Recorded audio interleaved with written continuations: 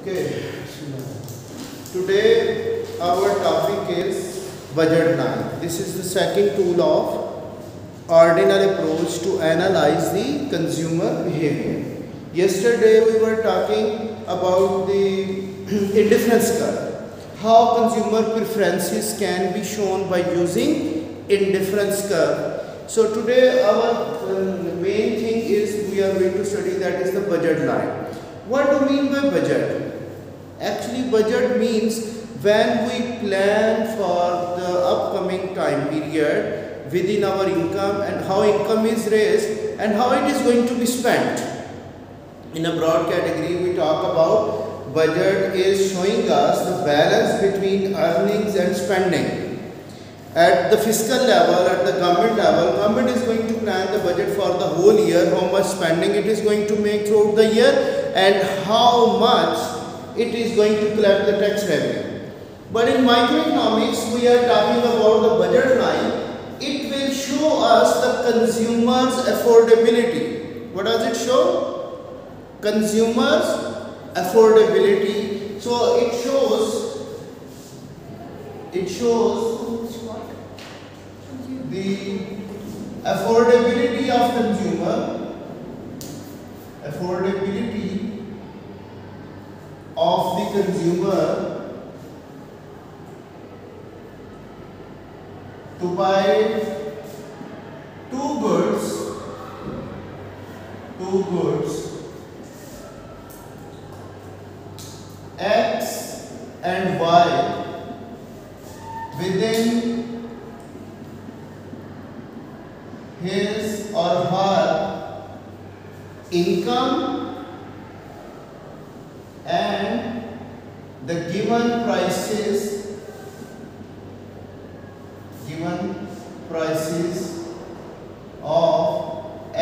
and y all right so this is telling us what the consumer's affordability. Affordability it can be measured by using the budget line. Now i am going to write it. The budget equation first of all that's equal to m. M denotes income. What does it show? Income that's equal to price of x multiplied by quantity of x plus price of y multiplied by quantity of y. This is called budget equation that all the income should be equal to the expenditures on the two goods. This is this is actually expenditure on X. This is expenditure on good Y. So when all income is spent and consumer is able to afford both of the goods in different combinations, so that tells us nothing is safe. Whatever the income is there, it is going to be spent on these goods to be purchased by the consumers. Clear or not? So we say when expenditures are lower than income, it shows that consumer is saving. And when expenditures are higher than income, it means he is going to borrow from some with from his previous savings or from someone else. So right now, income is equal to expenditure. That's why we say this is the budget equation of the consumer. Clear? Now we are going to derive the budget line from this equation. For example, yesterday or day before yesterday I was talking about income is given $12 and price of X is $2 whereas price of Y is $1. Okay, again the same figures I am going to quote you for in order to draw the budget line of the consumer. Now see, this is the budget equation price of x into quantity of x plus price of y into quantity of y. If quantity of y is 0, that consumer is not spending even a single dollar on good y, rather he is going to buy all of the commodity x, then all his income will be equal to the expenditures on x because this part will become 0. Clear? So how much of able to buy within this income? So quantity of x is equal to how much income divided by price of x. Clear? So how much is the income of consumer? $12 and what is the price of x? $2. So how many units of x could be purchased? 6 when he is not buying any of good Y. So this is called is called what? Horizontal intercept of budget line. What does it call? Horizontal intercept of budget line. How can we draw the budget line over here? This is what x this is y, this is 0, this is m of price of x which is 6 units. This is the horizontal intercept. What does it show Alina? That shows when y is not purchased by the consumer, all his income will be able to buy 6 units of x. Because his income is $12 and he its price is $2, so not more than 6 he is able to buy.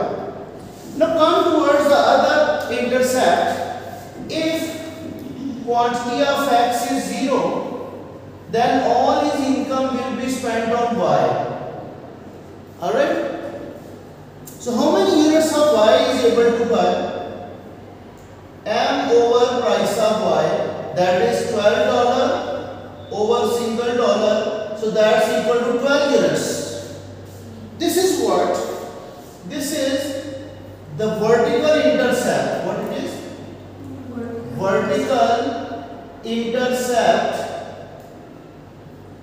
of budget line. Now see this is the vertical intercept m over price of y that's equal to 12 units.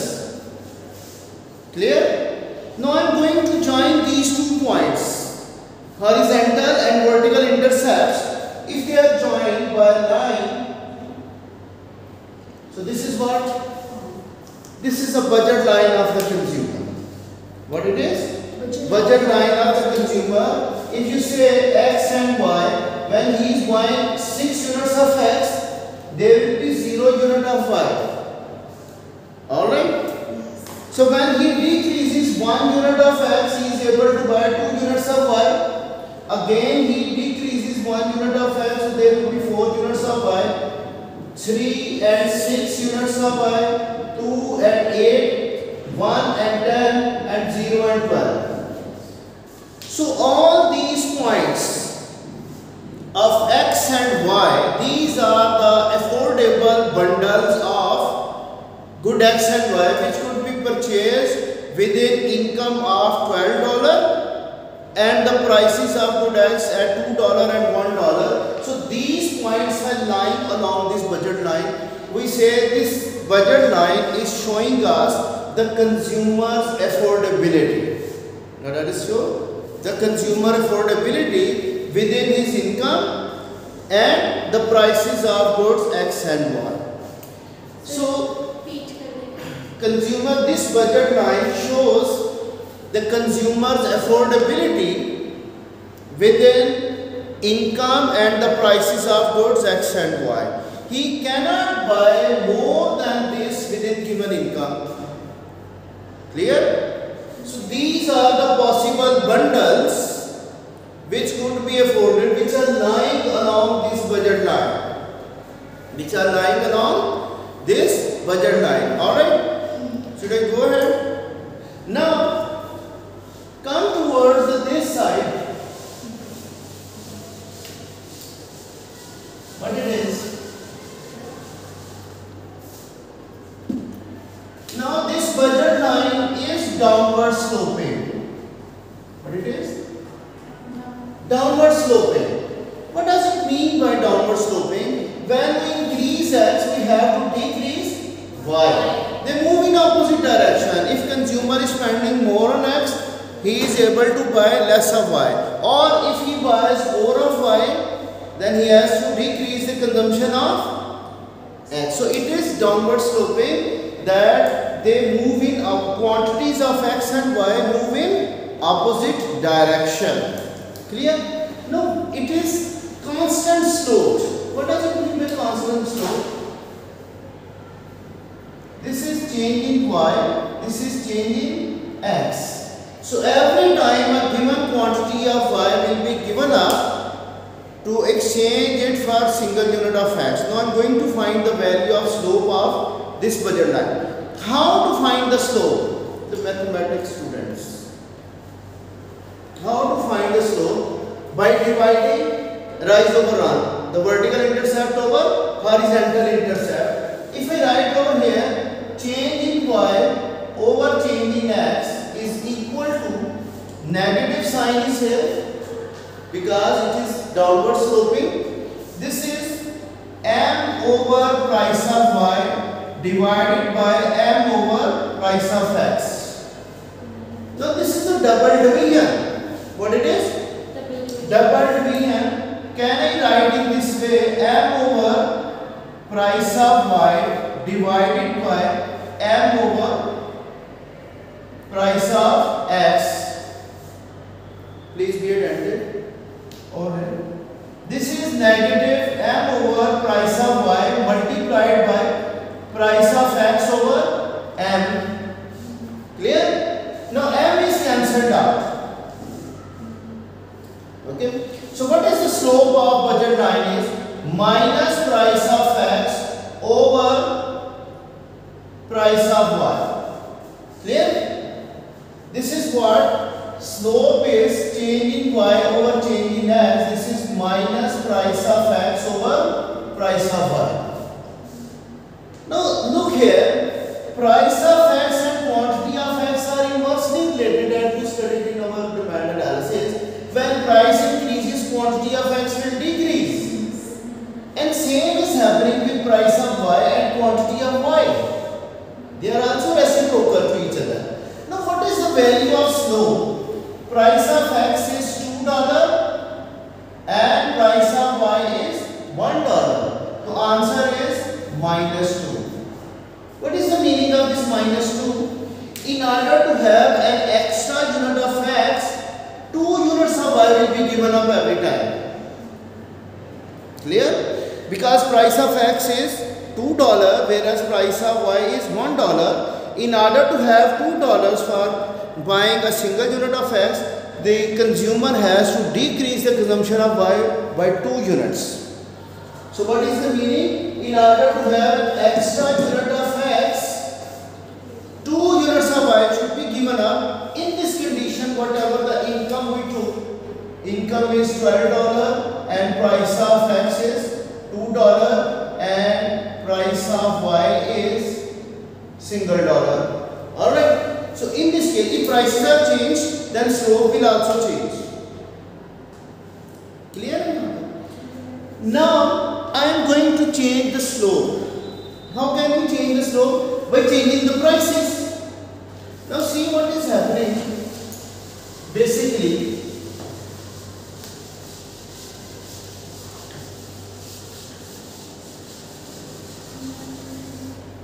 now see, if price of x increases, if price of x increases to four dollar instead of two dollar, so now price of x is four dollar so what happens? Now how much quantity of X will be purchased now? Income over price of X.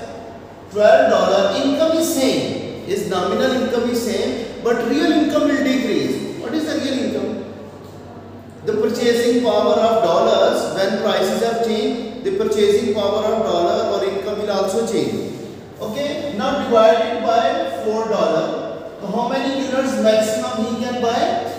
3. 3. So I say this is what budget line before the pricing 6 and 12. So when price has increased, budget line is now, it has become steeper.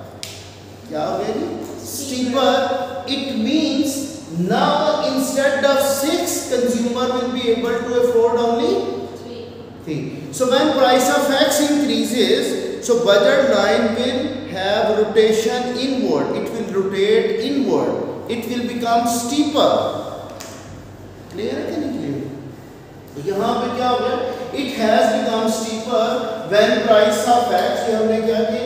Price of X has increased.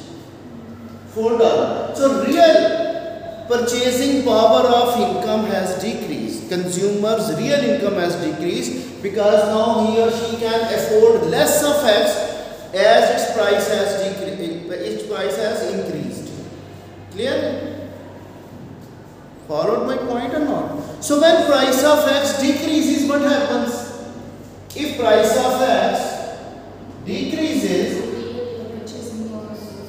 real income of consumer will increase instead of 6 now consumer will buy more. Suppose its price is now 1 dollar instead of 2 dollars. So what happens? What happens in this case? What happens in this case? When price of x is 1 dollar so consumer will be able to afford more of x. So when price decreases for X commodity, budget line will become flatter and consumer's real income will increase. He is able to afford more of X as its prices gone down. Any question? When price of X decreases, budget line will become flatter or it will rotate rightward to afford more of X. Clear? So what is what will happen price of y is going to change?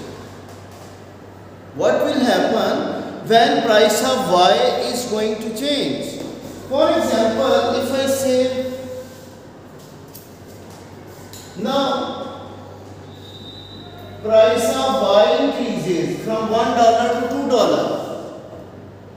What happens? Budget line Previously, this was. Now price of Y, previously it was $1, now it is $2. So how many of maximum Y units will be purchased? So you can find income over price. So M over price of Y now 12 over 2, 6 will be there. Previously he was able to buy 12. Now due to increase in price of Y, budget line will have downward rotation from y axis क्या हो गई downward ये flat होगी पहले वो steep clear or not so in this case what is happening when price of y is going to increase there will be pivotal shift of budget line from the vertical axis it is called pivotal shift or rotational shift okay if price of y if price of y decreases. so what happens? Budget line will have more affordability to buy more of Y. Now it is going to have outward shift, pivotal outward shift from the Y axis when price of Y decreases. Clear? So we said when prices of x and y they are going to change, there will be change in the slope of the budget line.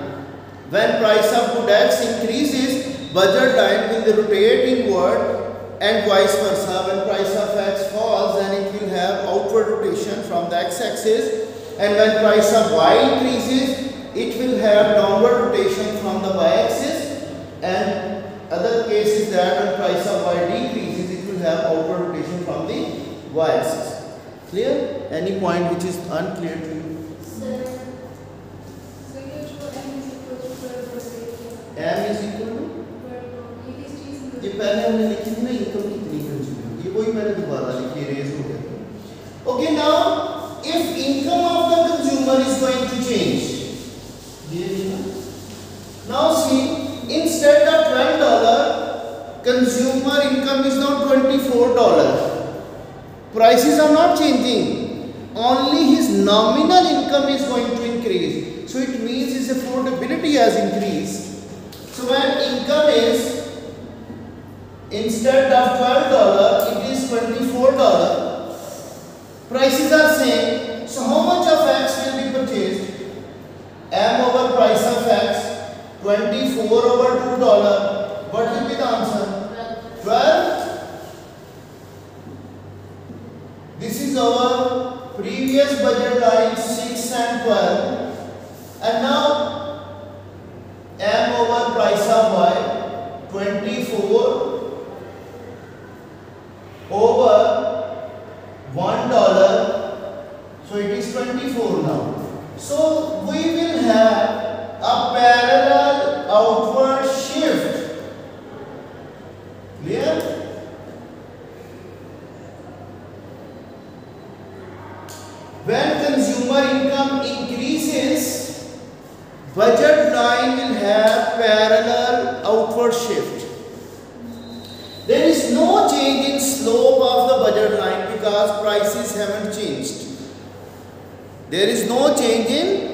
slope of budget line, only the nominal income of consumer has increased.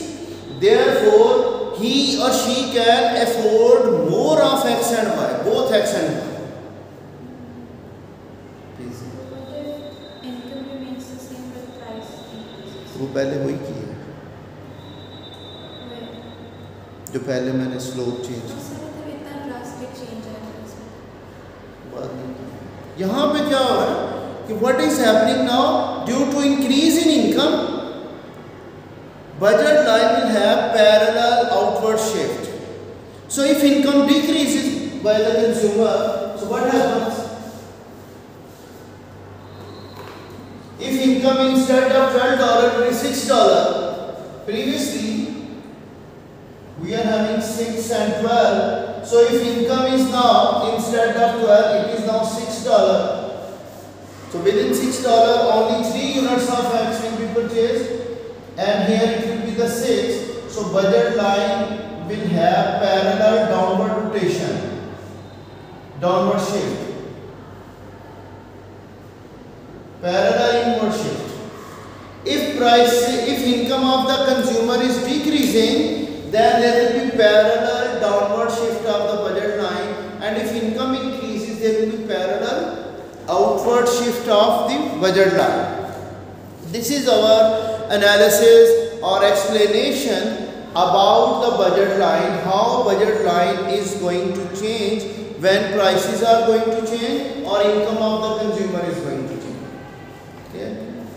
That is uh, our concluding remarks that budget line shows what affordability of consumer and his affordability can change due to changes in prices of the goods or the nominal income of the consumer. So in which direction his affordability will change that depends upon the change in income and the prices. That's all. Clear